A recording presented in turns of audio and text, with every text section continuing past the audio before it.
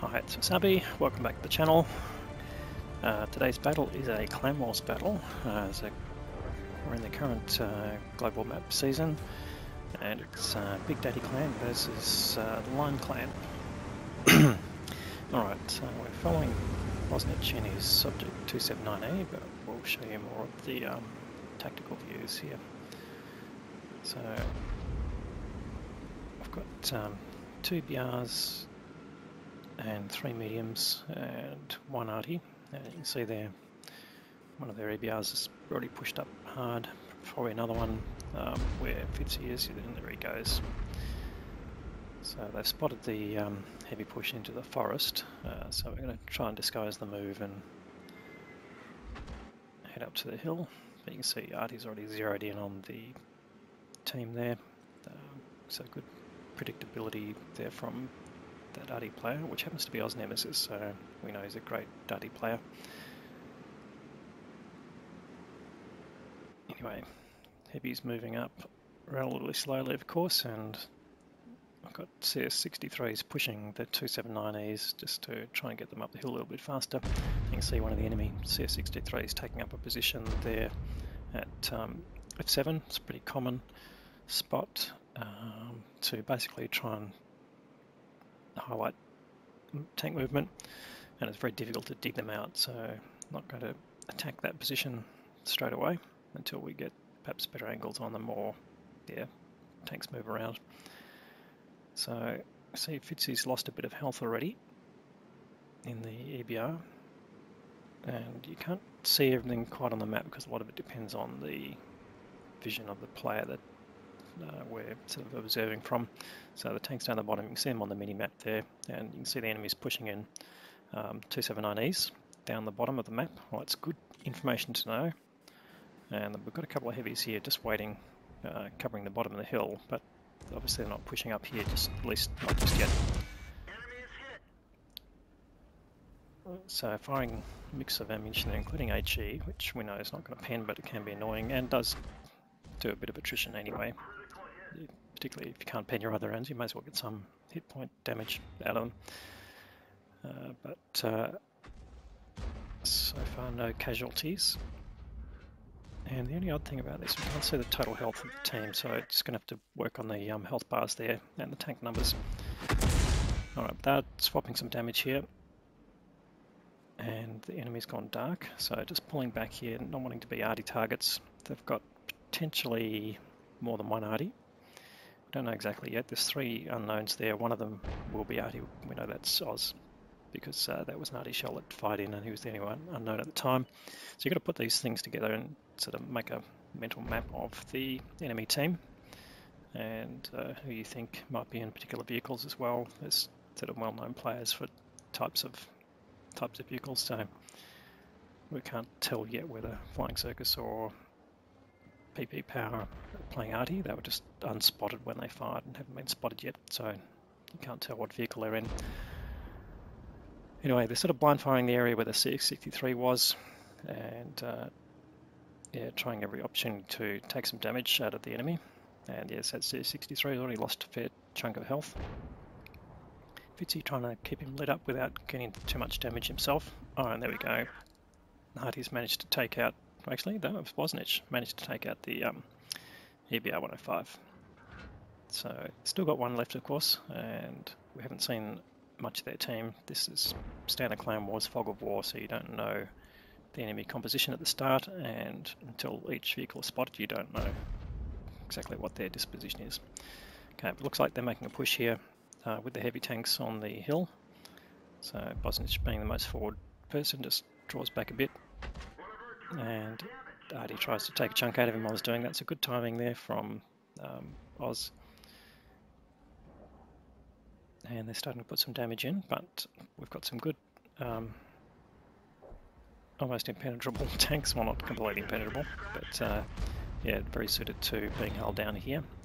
And they're pushing up in the open, so if you can poke out and get their lower hulls, you've got a decent pen uh, for the chieftains and the weak spots on the 279E, typically the commander's cupola, and that's very small, it's definitely shootable.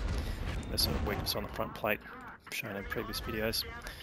while we're talking, we did lose one of our EBRs, so Fitzy unfortunately been taken out. And we're starting to take some toll on the enemy. That was their IS-7, but this is basically brawl here. So Arty contributes. And everyone just rolling back, trying not to get too isolated, just open to Fitzy there. But now we've got the CS63s coming from the back and trying to put attacks on the enemy team there. And here we go, got one of the enemy team here. Can't quite read the name on that one, but um, the chieftain, and he's sort of paid the price of getting isolated there.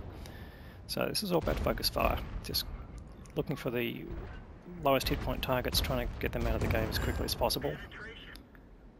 And uh, listening to the callers who are calling out those targets. So this brawl still working itself out.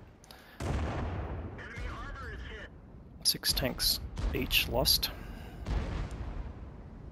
So it's still very even, and we've just got to resolve this part of the brawl. You can still you can see the enemies started to put tanks on cap, and now we're sending some tanks back. But they've only got one chieftain left up the top here, so this will be cleared out fairly quickly, and then we'll move tanks back down to the cap area.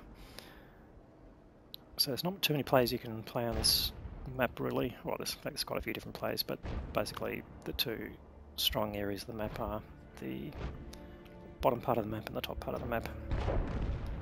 No one tends to go through the middle because you can get attacked from multiple sides there.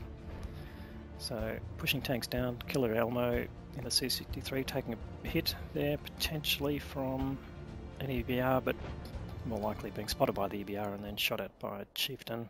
Looked like a bit of a high roll for an EBR anyway. Bosnich finding targets down in the base. Let's see if we can get some vision there. So take Bosnich's view for a moment.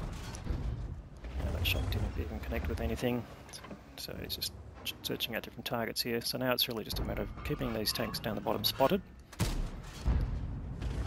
trying to get some damage, as much damage taken out of them as possible. And they've got to move out to basically take shots back, so it's up to them to basically prosecute the attack from their side. But we've already got a four tank advantage, and this is now what uh, you're really looking for is overmatch, where you can bring higher numbers of tanks to a battle and take start taking them out with greater firepower.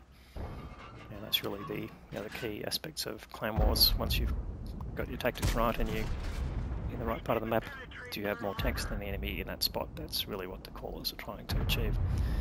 In any case, we started whittling them down, although they've got some back, but uh, managed to finally get rid of almost their second last 279E, and the last one remaining, just there, and he's doing the right thing, he's trying to keep a, an upwards pose here, makes the most of his frontal armour, and putting some heat back literally into our tanks here. And just not connecting, but uh, trying to get side shots where they do appear. He can't be facing every tank the same way, but you can see he's just working his way around. And that shot definitely connected. Did, did it do any damage? That's the question. Anyway, Bosnich needs to move in a bit closer. And he's still not spotted by the 279E, which is good, but uh, they do have an EBR around somewhere, they do have a chieftain, which is not near the um, 279E. So he does get spotted. Now that's most likely by the EBR. Again, can't see it. There's chieftain as well. Let's uh, zoom out again and show where the other tanks are. So we've got Rudy and Kaboom moving down, and Rands in chieftains and being backed up by the GWE.